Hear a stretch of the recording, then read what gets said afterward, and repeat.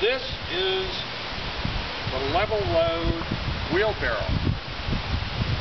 We're going to show you how it works like a regular wheelbarrow, but it also will level itself going up or downhill or traversing a hill. It also has a lock so it can lock the receptacle in any position. First we'll show you how that works.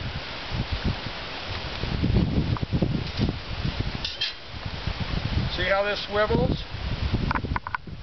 You can lock it up if you want to dump it. You can lock it back. You can lock it level. And you can lock it side to side at the same time. Now, we're going to show you how this works going up a hill. First, you find the angle of the hill and you lock your receptacle. Now, see how it's level with the hill?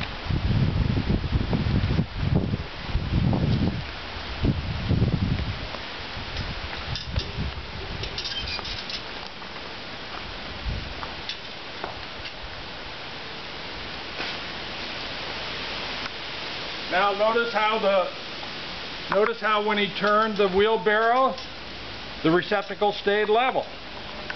And it continues to stay level.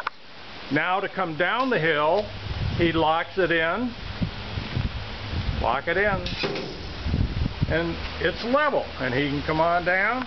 He could have come down even if it wasn't locked in.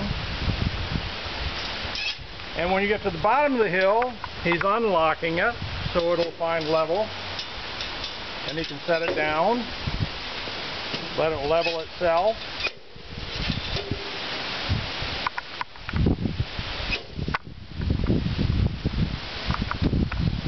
That's the level load.